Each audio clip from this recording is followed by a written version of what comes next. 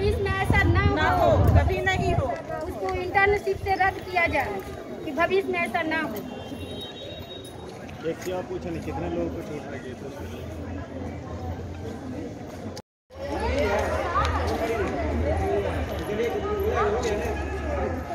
Bettiah medical college में nursing staff के साथ मारपीट की घटना के बाद प्रदेश के कई अस्पतालों में काम करने वाले कर्मचारी नाराज़ हैं, क्योंकि अभी तक मामले में किसी भी दोषी के खिलाफ कोई कार्रवाई नहीं हुई है। इसी को लेकर नालंदा के विम्स पावापुरी के नर्सिंग कर्मचारियों ने काला बिल्ला लगाकर कार्य सेवा देकर विरोध जताया। इस दौरान नर्सिंग स्टाफ विम्स के ओपीडी परिसर में काला बिल्ला लगाकर सांकेतिक रूप ऐसी अपना विरोध जताया। नर्सिंग कर्मचारियों का कहना है की बेतिया मेडिकल कॉलेज में एमबीबीएस के कुछ इंटर्न छात्रों ने ऑन ड्यूटी नर्सिंग स्टाफ के ऊपर जानलेवा हमला किया था। जिससे अब दूसरे अस्पतालों में काम करने वाले स्टाफ भी खुद को असुरक्षित महसूस कर रहे हैं।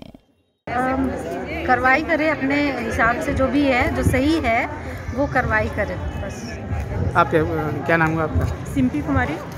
आप क्या चाहते हैं? आप लोग क्या चाहते हैं? हम चाहते हैं कि जो भी इंटर्न लोग हमारे जो भी भाई बहन हैं उनको मारपीट किए हैं उनका मांग है, बेतिया वाली जो सिस्टर लोग, उनका मांग है कि उनका इंटर्नशिप रद्द किया जाए। हम लोग भी वही चाहते हैं कि उनका इंटर्नशिप रद्द कर दिया जाए, ताकि बाद में वो लोग और भी गुंडागर्दी करके आगे ना बढ़े। उन लोग को सबक मिले कि हाँ आखिर हम ये लड़ाई कर रहे हैं, पढ़ने के लिए आए हैं, ये कि ना कि लड़ने के लिए आए हैं। बेतिया मेडिकल कॉलेज में कर्मचारी और नर्सेज के साथ मारपीट की घटना हुई है, जिसके विरोध स्वरूप हम लोग काला बिल्ला लगा करके यहाँ काम कर रहे हैं।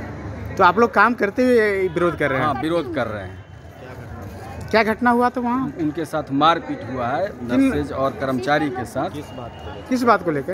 किसी आपसी मैटर में या पेशेंट को लेकर के उसमें काम को लेकर के ड्यूटी को लेकर के इसलिए वहाँ पे बहुत ज़्यादा मारपीट हुई। कुछ लोग तो आईसीयू में भर्ती है। कुछ लोगों को रेफर भी करना पड़ा। यानी सिस्टर लोग को मारा गया। सिस्टर को तो भी क्या कर्मचारी को क्या उस पर कार्रवाई किया गया है सरकार के द्वारा या प्रशासन के द्वारा? अभी तक कोई कार्रवाई नहीं हुई है केवल मौखिक आश्वासन मिला है। इसीलिए हम लोग विरोध कर रहे हैं। अच्छा किन के द्वारा मारपीट किया गया था?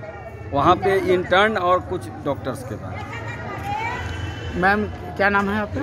अंजू कुमारी। आप लोग जो बिल्ला लगा के ये विरोध कर रहे हैं से मतलब आपको क्या कहना है इस विरोध के बारे में? कहना है हम लोग को कि ऐसे वहाँ का जो एडमिनिस्ट्रेशन है, बेतिया का, जो थोड़ा सा प्रशासनिक कार्रवाई न करते हैं इंटर्न लोग पर, और थोड़ा सा या स्टाफ लोग को नीचे कैटेगरी का जो सिस्टर लोग होते हैं, कर्मचारी लोग होते हैं, उनको बार बार सताया जाता है। तो हम लोग ऊपर मांग कर रहे हैं कि ऐसा घटना भविष्य में ना हो कि बार बार ऐसा हो कि जिसमें हम लोग आगे भविष्य में फिर इस आगे हम लोग न बढ़ना चाहते हैं अपना कार्य पर कार्य करते हुए।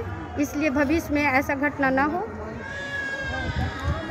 इसलिए हम लोग प्रशासनिक से मांग करते हैं स्वास्थ्य मंत्री से मांग करते हैं।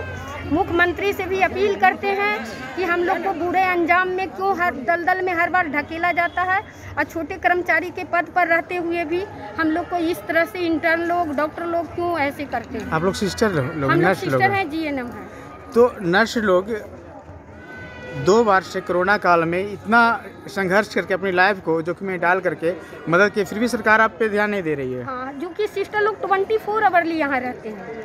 और डॉक्टर लोग तो डायरेक्शन देते हैं चले जाते हैं। पेशेंट के पास तो हम लोग ही उसके परिवार बन के हम लोग रहते हैं। हाँ ये तो सच बात है कि आप एक माँ बाप भाई बहन की तरह रह के सेवा पेशेंट को करते हैं और फिर भी आपके साथ में ऐसा किया जाता है। तो बेतिया में कुछ ऐसा प्रशासन कार्रवाई किया या नहीं किया? ये तो अभी तक तो ऐसा कोई कार्रवाई नहीं हुआ है। अभी तो कोई आगे निष्कर्ष ऐसा नहीं निकला है। अभी तो आईसीयू में वहाँ का ए, सिस्टर लोग मेल ए, ब्रदर लोग भी उसमें घायल है जो आईसीयू में भर्ती है। दरअसल किसी भी अस्पताल में काम कर रहे कर्मचारी की सुरक्षा की ज़िम्मेदारी अस्पताल प्रबंधन और स्थानीय पुलिस की होती है। बताया जा रहा है कि बेतिया मेडिकल कॉलेज में हुए हमले में दो महिला नर्सिंग स्टाफ समेत कुछ नौ लोग गंभीर रूप से जख्मी हुए हैं, जिनमें से तीन नर्सिंग स्टाफ अभी भी आईसीयू में ज़िंदगी और मौत से जूझ रहे हैं। ऐसे में दूसरे मेडिकल कॉलेजों के स्टाफ में भी डर का माहौल है। उनका कहना है कि इस प्रकार की घटना दोबारा किसी दूसरे संस्थान में न हो। इसके लिए दोषियों को सख्त से सख्त कार्रवाई होनी चाहिए। पंजाब केसरी टीवी के लिए नालंदा से मोहम्मद महमूद आलम की रिपोर्ट। हमसे जुड़े रहने के लिए हमारे YouTube चैनल को सब्सक्राइब करें और नई वीडियो की नोटिफिकेशन के लिए बेल आइकॉन को दबाएँ। अगर आप ये वीडियो Facebook पर देख रहे हैं तो लाइक ज़रूर करें और ज़्यादा से ज़्यादा शेयर करें धन्यवाद